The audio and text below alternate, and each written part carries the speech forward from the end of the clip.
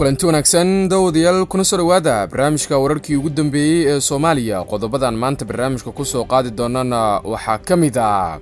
dowladda federaalk soomaaliya oo taageero weyn ka heshay dhiggeeda turkiga iyo safiirka turkiga ee soomaaliya oo kulan la qaatay ra'iisul wasaaraha jamhuuriyadda federaalk soomaaliya. Haddaba maxay ahayd fariintii uu safiirkan ka siday dowladdiisa islamarkaana uu soo gaarsiiyey dowladda federaalk soomaaliya? Waase maxay taageerada cusub oo uu turkiga u ballan qaaday madaxweyne farmaajo xog lama filaana oo laga helay beesha caalamka oo ku dhawaaqday in howlaha doorashada ee soomaaliya ay kala xisaabtami doonaan ra'iisul wasaare rooble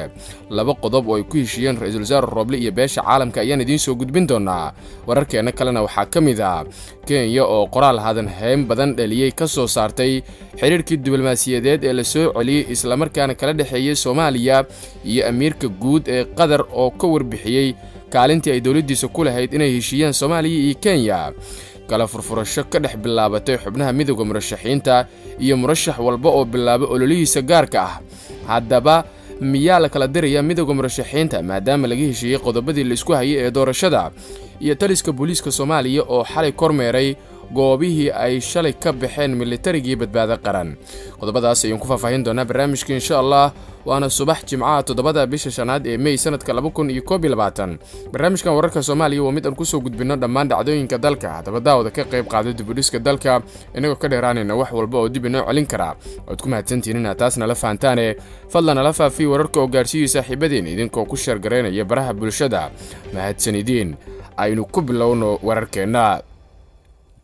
dowladda federaalk ee soomaaliya ayaa waxay u muuqataa in taageero cusub ay markaan markale ka helayso ee dhiggeeda turkiga. Turkiga oo saaxiib lah ee soomaaliya islamarkaana si dhow saaxiib u lah madaxweynaha dalka maxamed cabdulaahi farmaajo ayaa waxaa la soo gaarsiiyey fariin uu safiirka turkiga ee soomaaliya u jooga uu ka siday madaxda ugu sarreysa ee dalkaasi ee turkiga ra'iisul wasaaraha ee dowladda federaalk ah ee soomaaliya mudane maxamed xuseen rooble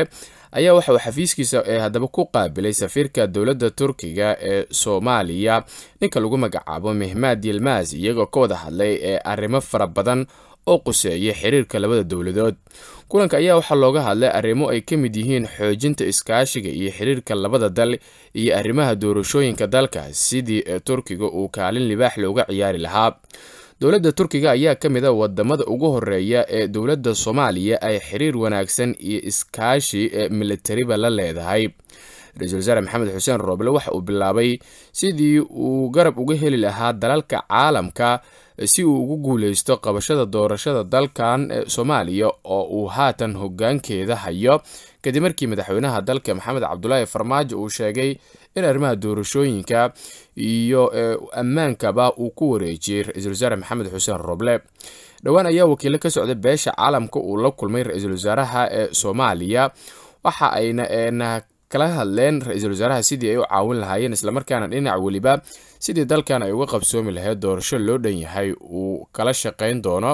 ra'iisul wasaaraha ee jamhuuriyadda federaalk ah ee soomaaliya. Dhinaca kale ra'iisul wasaare maxamed xuseen rooble ayaa dhowaan kulankii uu la qaatay beesha caalamka waxaa laga helayaa xogo kala duwan oo dheeraada. Haddaba waxaa soo baxay warar sheegaya in beesha caalamka ay ra'iisul wasaare rooble u sheegtay in ay kala xisaabtami doonaan arrimaha ee doorashooyinka isaga oo keliya xog aan helnay ayaa waxay sheegaysaa in wakiilada beesha caalamka ay ra'iisul wasaaraha soomaaliya mudane maxamed xuseen rooble kala hadleen laba qodob oo quseeya doorashada iyo ammaanka soomaaliya. Wakiilada caalamka ayaa ra'iisul wasaare rooble u sheegay in wixii doorasho ah iyo amnigaba ay isaga uun kala hadli doonaan wixii ka dambeeyey khudbaddii madaxweyne farmaajo. Sidoo kale waxay u sheegeen in mas'uuliyadda fashil kasta oo ku yimaada doorashada soomaaliya ay qaadan doonaan isaga iyo maamul goboleedyada xogtan aan helnay ayaa tilmaamaysa in beesha caalamka ay ra'iisul wasaare rooble kula dardaarmeen inuu shaqadiisa qabsado islamarkaana uusan qaadan faragelin kasta oo ay ku samayso villa soomaaliya taasi oo haddii ay dhacdo keeni karta fashil kale oo ku yimaada doorashada soomaaliya oo haatan wakhtigeedii dib uga dhacday safiirada ka socda waddamada daneeya arrimaha soomaaliya iyo ururada caalamiga ah ayaa ra'iisul wasaare maxamed xuseen rooble u ballanqaaday inay ka taageeri doonaan wax kasta oo quseeyo doorashada sida dhaqaalaha iyo wixii farsamo ah arrintan ayaa dhiirigelin weyn u ah ra'iisul wasaaraha soomaaliya maxamed xuseen rooble oo laga sugayo inuu wax ka qabto doorashada waddanka oo muddo sanadaha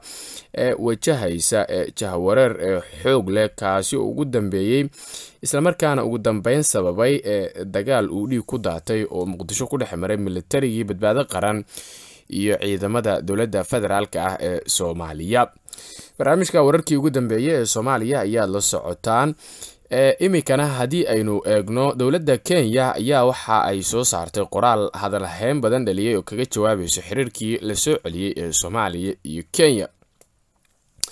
Dowladda kenya ayaa si taxadar leh uga hadashay tallaabada ay dowladda soomaaliya ku dhawaaqday ee ay ku soo celisay xiriirkii diblomaasi ee ay horey u jartay war-saxaafadeed ka soo baxay wasaaradda arrimaha dibadda kenya ayaa lagu sheegay inay kenya ka warhayso tallaabada ay soomaaliya ku soo celisay xiriirkii diblomaasi ee ay la lahayd ee dhigeeda kenya. Iyadoo arrintaasi jirto ayaa wasaaradda arrimaha dibadda kenya ay sugaysaa inay madaxda soomaalida ay hore u qaadaan tallaabooyin ay ku cadaadinayaan xiriirka ayna jirto ganacsi ganacsiga xiriirka gaadiidka isku socodka dadka iyo isdhaafsiga dhaqanka ayaa lagu yiray qoraalka ka soo baxay wasaaradda arrimaha dibadda oo u muuqday mid kenya ay si weyn uga taxadaraysay kenya waxay u mahad celisay taageerada ay arrintan ka geysatay ee dalalka beesha caalamka gaar ahaan ee dowladda qatar oo dadaal u gashay soo celinta xiriirkii labada dal ee kenya iyo soomaaliya waxaa sidoo kale qoraalka kenya ku xusnaa in ay adeegsatay oo keliya ee maamulka soomaaliya iyada oo marnaba aan soo hadal qaadin dowladda ee jamhuuriyadda federaalk ah ee soomaaliya. Arrintaasi oo hadalheen weyn ka dhalisay baraha bulshada ee dadku ay ku xiriiraan. Isla wararkaas amiirka qatar ayaa waxa uu war ka soo saaray kaalintii uu isagu ku lahaa in ay dib u soo celiyaan xiriirkii diblomaasi soomaaliya iyo weliba sidoo kale kenya. Amiirka dalka qatar ee taamin bin hamaad al thani ayaa qoraal uu soo saaray ugu hambaliyeeyey dowladaha soomaaliya iyo kenya xiriirkii ay soo ceshadeen ee diblomaasi.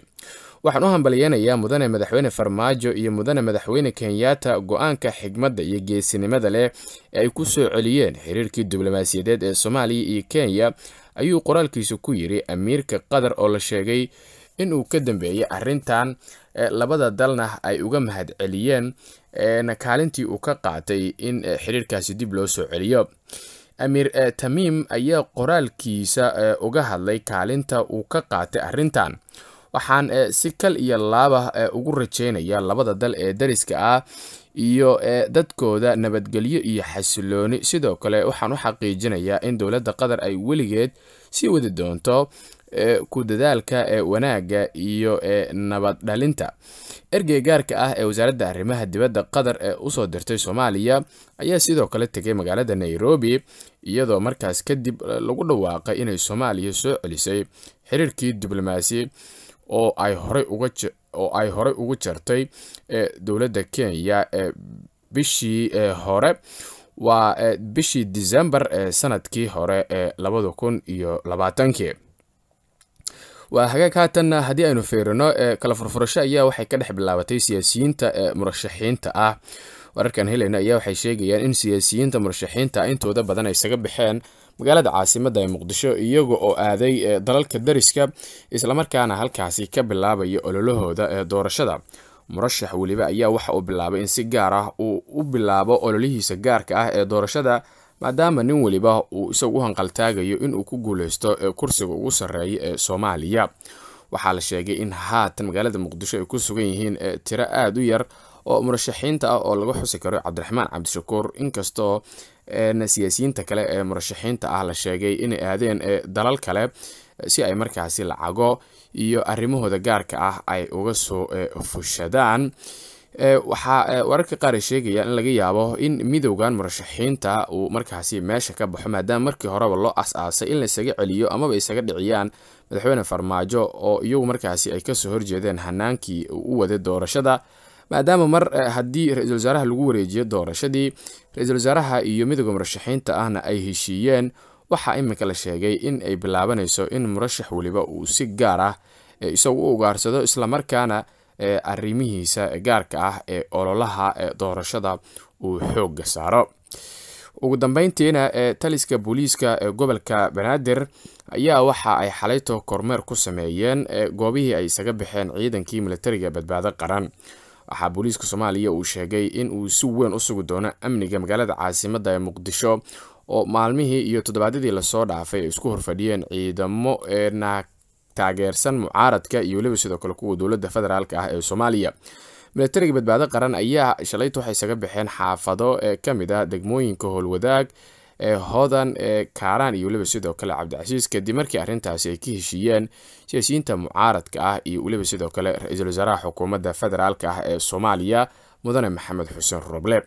Qodobkaasi ayaa ugu dambeeyey warkeenna tan iyo warkan war la mid ah. Intaaynu dib ugu kulmi doono sidaas iyo nabadgelyo